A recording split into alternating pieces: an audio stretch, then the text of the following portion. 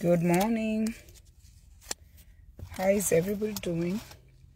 So I always have to clear my vision every time I come on so I can read your comments and see those who are giving me stars. How is everyone? I've been out since Wednesday because I had a bad cold, but today I feel better. So when you don't see me online, just know I'm not feeling well. And most of the time, I don't come out to tell my fans that I'm not feeling well. Every now and then I can post, but when you don't see me at around this time, 11.30, just know something is cooking. So if you're finding me for the first time, my name is Penny. I come uh, into your personal space through your social media feed, which is Facebook is my preference. My goal here is to uh, inspire you. My goal is for you to sit in, listen, and learn. Uh, maybe one or two things. You don't have to learn a lot.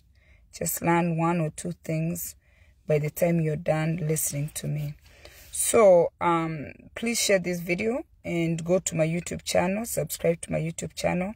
I do this during my lunch break because I choose to share my space with other people because we've been given these platforms for free. We don't pay.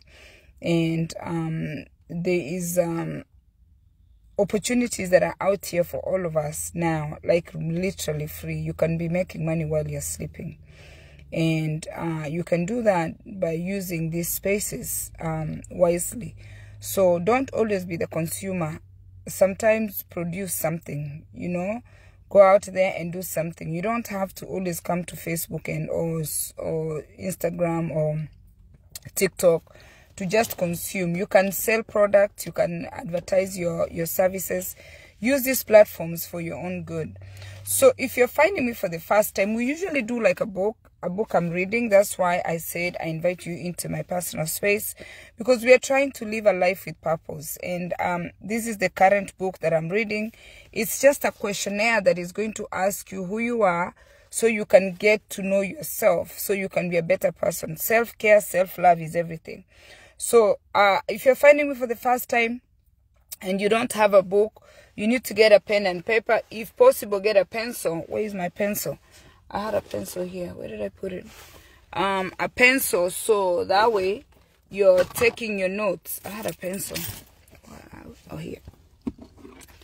You can have a pencil with an eraser just in case you need to write things just in in case you need to to to cross anything out always have a pen and paper especially when you get on social media or you start listening to people that you know you're learning from because these things you hear them and then you won't remember so let's go to the questions okay uh number one how do you describe your past relationships Think about it, take time. You've had relationships, maybe uh, friends, maybe family. How do you describe your past relationships? Write that down.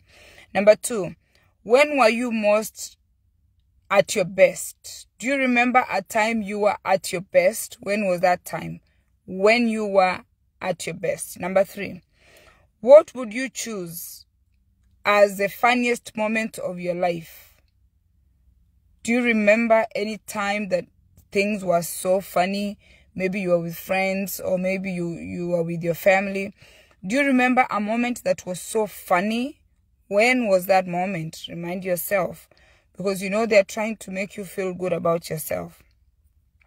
Number four have you ever experienced severe weather? Yes i have. Early this year i went to fort lauderdale with my 10 12 year old he was 11 then and we went for spring break. As soon as we landed at the airport, it started pouring. By the time we called Uber to get to the room, everything was shut down. And you know, we were very excited. We got a house by the beach. Everything shut down by the beach and we were not able to get food until the next day at around 3. So that moment, you're like, oh my goodness, the cars were stalling. It was really bad. And then to make even matters worse, we were there for like five days. When we were getting ready to fly back, they cancelled all the flight because the weather was bad. So have you ever experienced severe weather? Number five, have you ever been scared in your life? For those of us who drive when you're on the road, you're always scared, especially for me when I go over a bridge. You can be scared for nothing. Have you ever been scared? Number six. What is the last lie you told? And don't tell me you don't lie because you know that's not true. But reflect. They want you to reflect on your lies. How often are you lying? When was the last time you lied? And even ask yourself, why did you lie? You know what I mean? Why do you lie? They're trying to ask you to be conscious, to create awareness that you lie. When was the last time you lied and why did you lie? Think about the things you tell people that are not true because too many lies can affect you. Too many lies can put you into depression. Number seven, what is the most irresponsible thing you've ever seen someone do? I think the most irresponsible thing I always see people do is drinking too much and then you cannot save yourself. Have you seen somebody do something so irresponsible? You're like, really? You actually did that? You know, what? when was that? And what was the thing that the person did? That's number, se number seven. Number eight, have you ever consoled someone when somebody has lost a loved one? You know, some of us, they're asking you this question to even think about yourselves. Some of us are so busy doing what we are doing, when people are going through grief, you don't have time for them. Until it's your time to grieve, you find yourself without anybody. These questions are meant to help you think. Who is a friend? Who is a cousin? Who is an uncle? Who is the last person that you know that lost someone? Did you go and help them to console them? When, when was the last time you did that? They're asking you this question to create awareness. When people are going through grief, do you stop everything you're doing so you can go and console with them. Number nine, who has believed in you when you are at your lowest? Who has believed in you when you are at your lowest? I think for, for most of us who have children, I feel like our children believe in us regardless. But you know, some of you who don't have children, maybe it's your parents. Who is that one person who believes in you even when you know you're not doing good? You know, there are days you, you know nothing is working. Who is that one person? Or who are those people that always believe in you? You can count on them. Number 10. Have you ever left a party early? A party early. In fact, this is a critical, when I was reading about this question, this is a very critical question. For, for most people, the parties are on Friday and Saturday. So, most people don't want to leave the party early. In Kisii, we have a saying, that Engi in Tinaura or something like uh, the last fly that just lingers around gets gets to be killed. They're asking you about this to think about this. You have self-control. Some of you go to parties and you don't want to leave. Some of you go to parties and you're the last person. Every party, you're the last person. Have you ever gone to a party and you left early? Think about it. It is important that you leave early sometimes so you can go get some sleep. If it's a party where you are drinking, if you leave early, if you ha usually have six beers, you could have two beers. Or if you're the one who talks too much, if you leave early, you're, you're going to get enough sleep. Now you won't be talking too much. Have you ever left a party early? Think about it. And if you don't leave the party early, you need to practice that. Or turn even some parties down. Number 11, what has made you so proud? Again, for me, is always my children because I gave birth to them, I've raised them. When my kids do things that really, you know, uh, I look, I'm like, oh, wow. My children always make me proud. I'm always proud of them. And yes, of course, my husband. My husband has done things over the years that made me feel so proud to have chosen him for a spouse. I'm like, oh, wow. Like, really, he's going above and beyond. And, and I feel so proud of him. I'm like, wow he's done this. This is really amazing. So, so, most of the time, it's the people that you interact with. And when they make you proud, you should let them know that they've made you proud. It could be a friend. Some of you, it's your friends who are doing amazing things and they've made you proud. You're like, oh my goodness. And people associate that friend with you. They're like, oh, I'm so proud of Okari. Okari, I'm so proud of you. Getting that tendency of being proud of people when they achieve certain things Sometimes people achieve things and they, they don't hear from us. They need to know that you're proud of them for whatever achievements they've made. Number 12. What has been the biggest inspiration? the biggest inspiration, like you look, you're like, oh my goodness, I'm so inspired. What has been that biggest inspiration? Either you're looking at someone or something that people did or a group of people.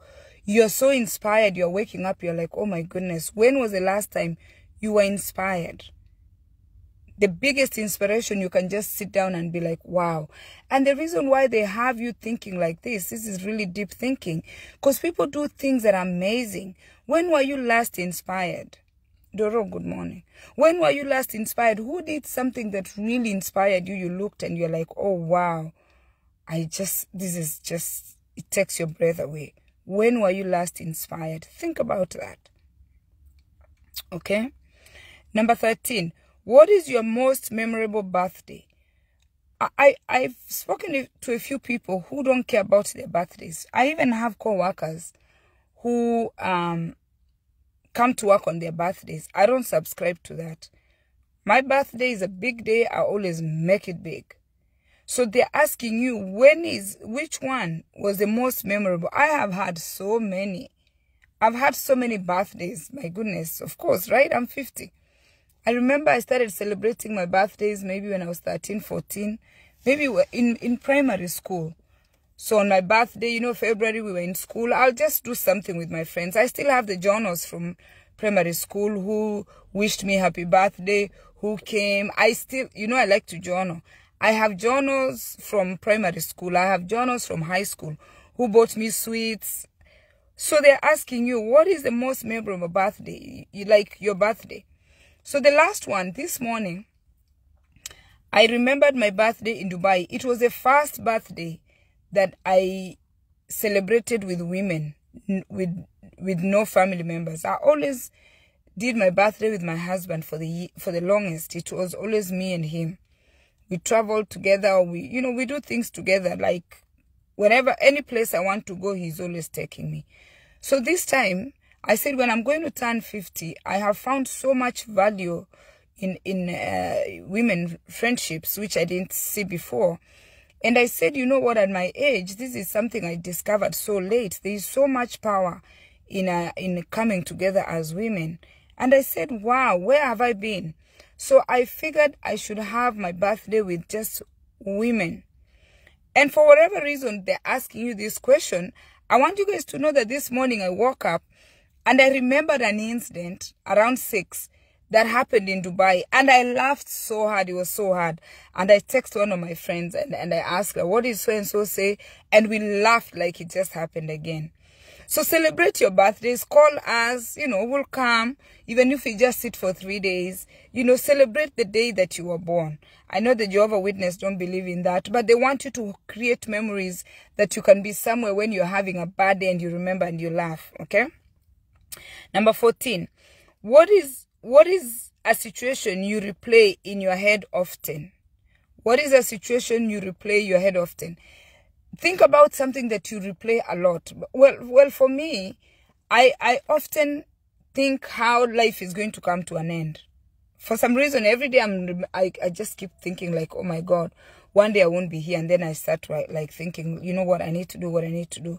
I I always think about the world coming to an end. And you know your world can come to an end any day. So for me, that is what is always in my mind. I'm like, oh, wow. Yeah, sooner or later we won't be there. We'll be something of the past. What is that one thing that is always playing in your head? Paul, how are you? Okay, number 15. Who is someone you've impressed? Who is someone you've impressed? I always think, for me personally, the person, the people that I've really wanted to impress in my life was my parents. And I really did it in a way that made them proud. That's me. Some of you might be wanting to impress your friends, some of you uncles, aunties. For me, growing up, I wanted to impress my parents by the choices I was going to make. And, and I'm still so proud. My dad died knowing that I was self-sufficient. I wasn't a dependent. My dad died knowing that I had a family. So I'm happy. And I'm happy that I impressed my parents because you know what? I owe them that because they put so much in me. They invested so much in me. And when I do things now, I look back, I'm like, wow, this is how they dedicated themselves because I'm looking at myself and, and my husband and what we are doing for our children. So to me, the, the person that I really need to impress is my parents. So I don't know who you, you like to impress, but they're asking you to think about that. Is there a rumor about yourself that shocked you? yes. In fact, the biggest, the, the biggest shock, the, like the biggest rumor I've ever had, where a bunch of women were talking about me saying I don't work, I don't have a job. And it's because in 2012, I stopped working full time, I resigned, and I became a full time mom. I opened my business. So I work, but I don't work every day. I work a couple days a week, like on somebody's payroll. I was, that was so funny. Like one person told another person, the other person came, then one person came to ask me, oh, I heard you quit your job, so now your husband takes care of you. Actually, they were discussing it like, oh my God, she just sits there. What does she do? They didn't even know I opened a business. They didn't know even, like they have no idea. People have no idea what's happening in your house. But they decided that, you know what, she just quit her job and she's just depending on the husband. And she's, they're like, oh my God, oh, that woman. And then she had all these kids. And by the way, that time I had the fourth child. So the rumor was going like, why did I have so many children? Now I'm going to work my, overwork my husband. I don't do anything. They didn't know that I quit my job and I started a business. So that, that really, I've never like forgotten that. That, you know how people create stories about they're like oh she's always like home you know? Or some think i'm always on social media like you know people think things about you and they decide it that's how they are and they spread the rumors. Number 17 who is the past, first person to call with good news? For me it's my husband. My husband is always like the first person i call whether i have good news or bad news so have that person i don't know who it is for me, Abu has to know. For me, like good or bad, even sometimes he doesn't even have time to, to even listen. I'm just going to call him because he's a person that I comfortably feel comfortable just offloading my stories to, not the kids. Number 18. Have you ever walked barefoot? Some, some of you have never had a chance to walk without shoes. I went to school from kindergarten, uh, first grade, second grade, and third grade. I went to school barefoot no shoes and jiggers. I had jiggers. I've had jiggers. So i know how that feels. Some of you don't know what it means not to have shoes. Try it. Okay number 19 have you ever hurt someone's feelings and didn't mean to? Yes. This one is like an everyday thing because most of us who like telling the truth we just say things as they are. If somebody has a dress you tell them the dress doesn't look good like if you really are, are like a truthful person you're going to hurt people's feelings even when you didn't mean to. Number 20. Have you ever meant to hurt someone's feelings? Your intention was to hurt their feelings? Yes. For me, yes, I have hurt someone intentionally, but it's because I'm doing it to hurt them back. I don't start a fight, but I finish a fight. Those are keywords. I will never start a fight. I won't just come here and start fighting any door or start fighting Doro. I don't start fights. But once you start a fight with me, I will return a fight. And if I return a fight, I will tell you things that are going to hurt your feelings because you hurt my feelings. So I, I give you the same medicine. I don't know. I'm not those Christians or slap one cheek and turn the other cheek. I'm not the Christian that slaps one side and and and do the other side. No. And you know God is going to uh, karma is going to find them. No. I pay back. And this is not just anyone. This is to my husband, to my kids, anybody. If you deal with me and you do something bad to me knowingly, I'm going to punish you. And even the children, the same. My kids are doing things and they know knowingly because they know I speak. I'm their teacher. They're knowingly making mistakes. So I'm going to punish them so they can get the experience that I got and next time they will not do that. Okay, so they're asking you if you hurt someone knowingly. And if you're saying no, I don't know.